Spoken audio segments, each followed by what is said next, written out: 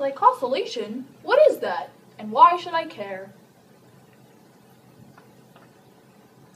Shazam! I am the biology genie, and I am here to tell you all about how glycosylated proteins are important to your everyday life. In fact, without glycosylated proteins like connectin, you would your motor neurons would not form proper connections with your muscles, and you wouldn't be able to move. Oh no! Well, how do my cells make sure that proteins get glycosylated? Well, for that, we'll need my friend, the Fresh Prince of Glycosylation.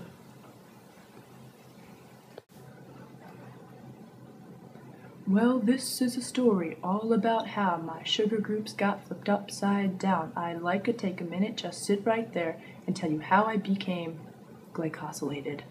In the cytosol, born and raised on the ER membrane where I spent most of my days, chilling out, being translated through the membrane, all chilling with my 4-2 residue precursors, when a couple of flight phases up to no good. Flip my sugar groups in the ER lumen. I got one little ER localization sequence cleaved, and my cell got scared and said, You're moving along the secretory pathway. I whistled for a vesicle, and when it came near, license plate said Golgi and had some proteins bound. If anything, I could say this vesicle was rare, but I thought, nah, forget it. Your home's to the secretory pathway. I pulled up to the Golgi, and on the cis side, I yelled to the vesicle, smell you later, removed my mannoses, and I was finally there to sit on my throne as a glycosylated protein.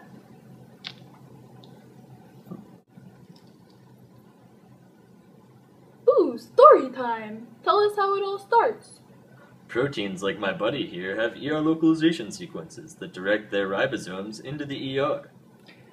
Then we get translated through the ER membrane. Precursors begin synthesis in the cytosol and then are flipped by flippases into the ER lumen. For example, connectin's glycophosphatidinol anchor begins synthesis in the cytosol but then is flipped into the lumen. How do sugars form on the ER membrane for N-link glycosylation?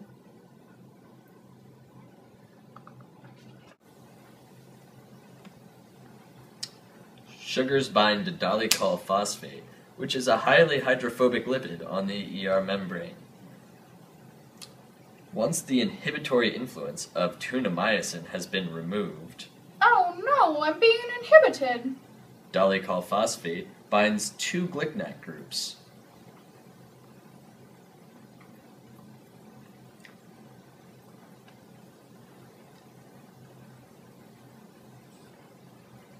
This is followed by the binding of five mannose groups.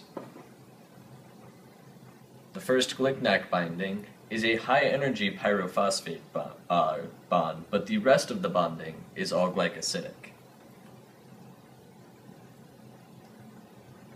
After all of the first seven subunits have been bound, the precursor flips to the ER lumen. But why do they go to the ER lumen?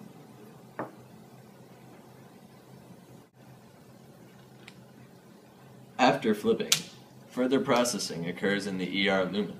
Four more mannoses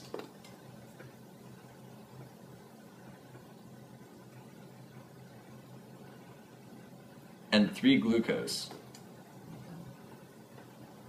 are added to get the complete 14 residue precursor bound to dolichol phosphate. The complete precursor is ready for transfer by oligosaccharyl transferases to the proteins.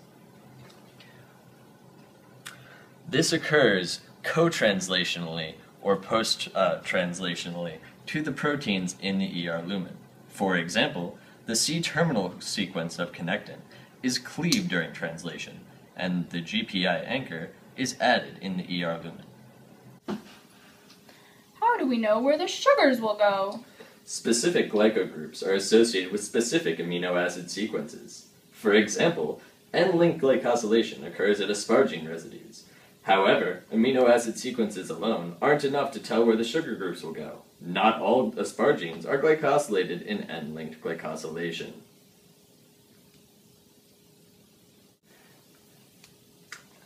Is that it? Not quite. Now we'll take a closer look at what goes in on inside of the ER lumen.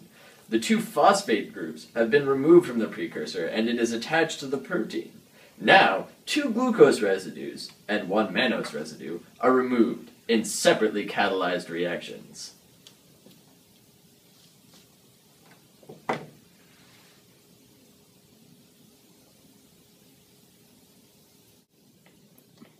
This seems awful complicated. Won't things go wrong?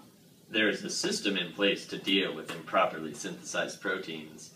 In the ER lumen, this glycoprotein is held by the CNX-CRT protein complex, while heat shock proteins engage in folding. Glycoproteins such as this one that cannot fold are retained in the ER for a longer period of time, and are trimmed by mannosidase 1. If this trimmed version is recognized by OS9, the misfolded protein will be moved out of the ER and into the cytosol so it may be ubiquitinated and then degraded in the proteasome.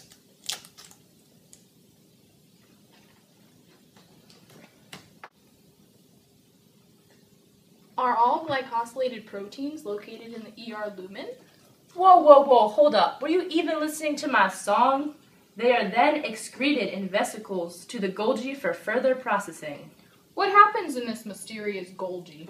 In the Golgi, sugar transferases strip many of the mannoses and move phosphates to give a final glycosylated product. So, all of the glycosylated proteins are located in the trans Golgi? No. From the trans Golgi, they can follow pathways to a variety of cellular destinations.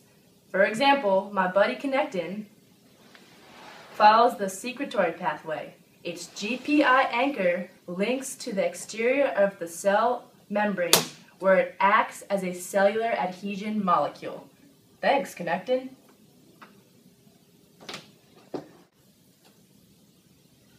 But why should I care about one lousy cellular adhesion molecule? Whoa, don't be dissing my buddy Connectin. Connectin is a highly conserved protein in everything from Drosophila to humans. Its homophilic binding guides the axons of motor neurons along a path of connectin expressing cells to the connectin expressing muscle and allows it to form a synapse that allows movement. If you don't have it, you will experience motor defects and defects in axon pathfinding. Its expression is carefully controlled by Hox genes. Inappropriate expression results in motor neurons going to the incorrect muscles. Check it out. Glycosylation is sort of a big deal.